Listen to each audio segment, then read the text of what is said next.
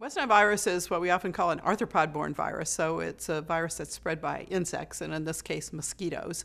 And so the way we get it is by being bitten by an infected mosquito. Now, the mosquitoes get infected from usually feeding on infected birds. So, in the uh, natural setting, the main way this virus is maintained is through birds and mosquitoes transmitting it to each other, and humans are an unimportant part of that uh, cycle.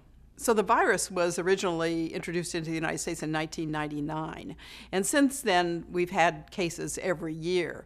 This year is a particularly unusual year in that there's a large number of cases and it's not only that there's a large number of cases, but they're occurring quite early. Usually the peak is late August and September for this type of virus infection, primarily because that's when the numbers of mosquitoes have uh, built up and become, the numbers of infected mosquitoes have become more uh, prevalent uh, to spread the virus. Some people can be infected and really never exhibit any symptoms or never recognize that they've been infected. Uh, but other people will get uh, fever, headache, sort of a flu like uh, syndrome.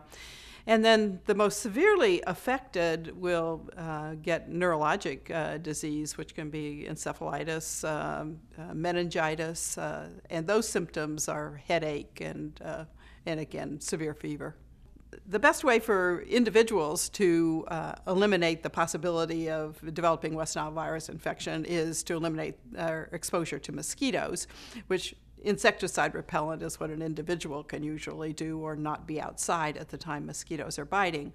But states and, and governments also monitor mosquito populations and viruses that are in those mosquito populations, and they often will then spray uh, to reduce the numbers of mosquitoes that are present in a particular area.